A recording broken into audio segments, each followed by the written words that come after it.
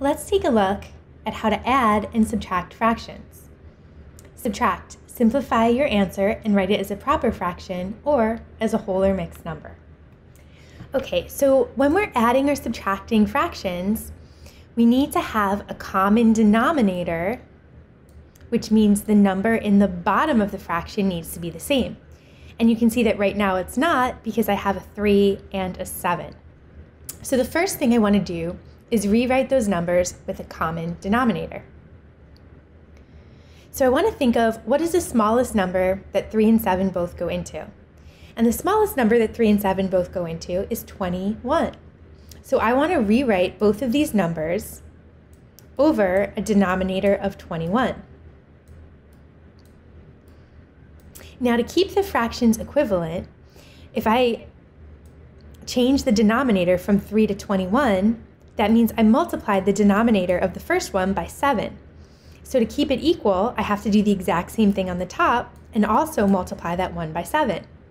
So 7 times 1 would give me 7.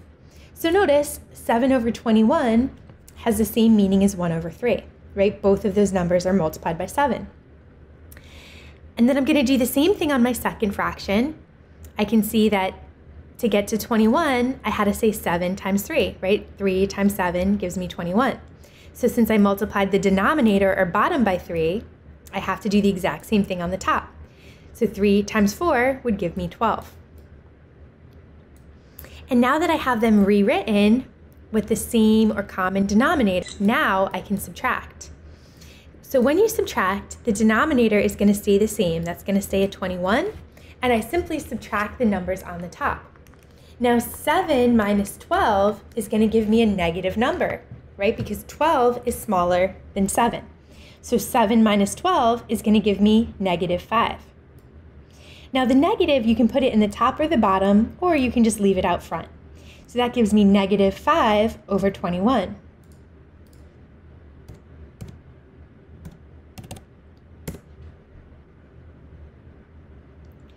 Okay, this time we want to add.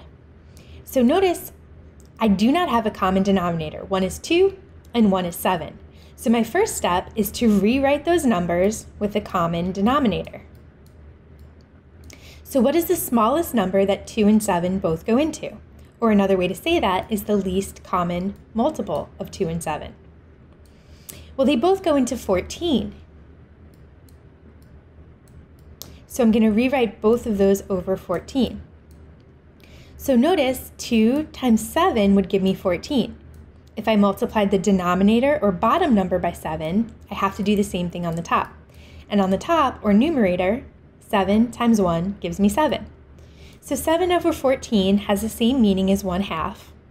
And then I'm going to do the same thing over here to rewrite 5 over 7. Well, to get to 14, I had to multiply 7 times 2. Since I multiplied the bottom by 2, let's do the same thing on the top.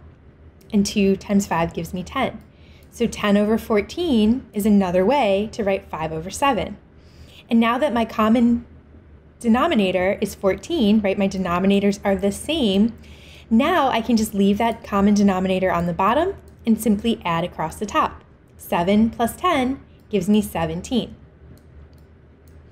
Okay, so 7 over 14 is an improper fraction, and that just means that the top number is larger than the denominator or bottom number. Notice they told me to write it as a proper fraction, whole, or mixed number.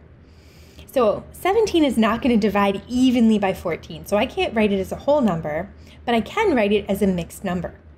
So to write it as a mixed number, well, how many times does 14 go into 17? 14 goes into 17 one whole time, and then it has three left over out of 14. Right, since 17 minus 14 is 3, that leaves me with 1 and 3 over 14.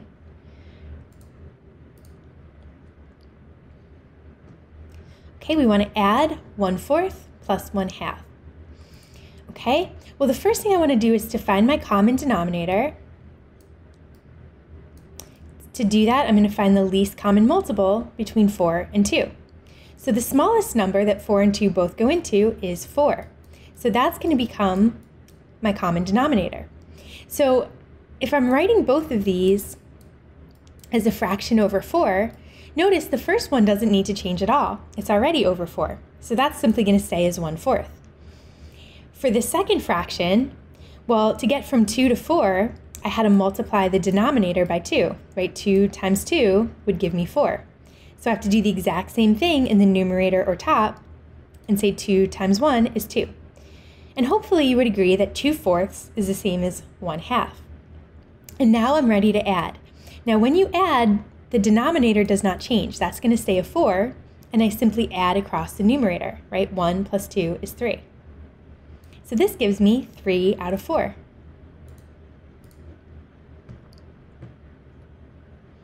Okay, we want to add 1 third and 1 half. Now notice the denominators or bottom numbers are different. I want them to match, so I have to find my common denominator. So what's the smallest number that 3 and 2 both go into? 6. So that means I'm going to write both of these as a fraction over 6.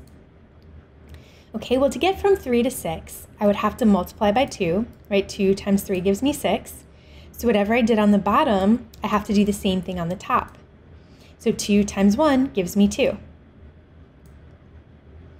Okay, in my second fraction, to get from 2 to 6, I had to multiply by 3, right? 3 times 2 gives me 6. So I'm going to do the exact same thing on the top, and 3 times 1 gives me 3. Now, when I add these, the bottom number doesn't change, right? That just tells me the whole thing. The whole thing is still out of 6, and I'm adding two parts of that plus another three parts, or a total of five parts out of six.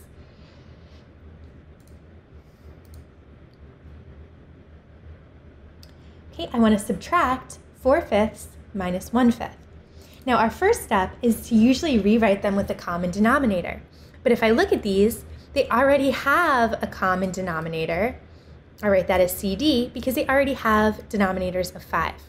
So I can simply keep that denominator the same and subtract in the numerator or top. 4 minus 1 gives me 3. So the answer would be 3 fifths.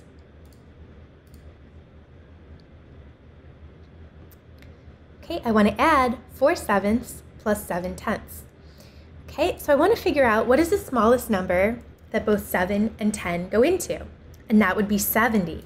So I want to start by rewriting both of these fractions with a denominator of 70.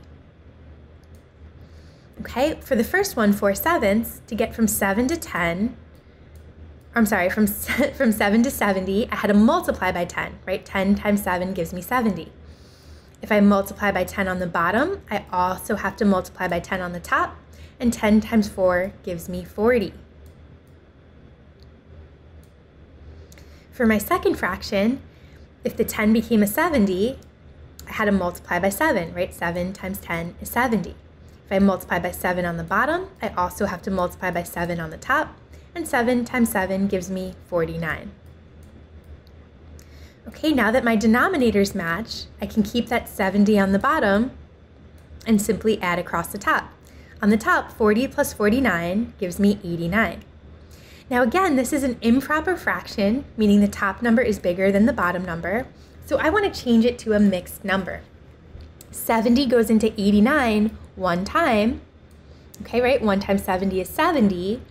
So that leaves me with 19 because 89 minus 70 gives me 19 left over out of my 70. So this is 1 and 19 over 70.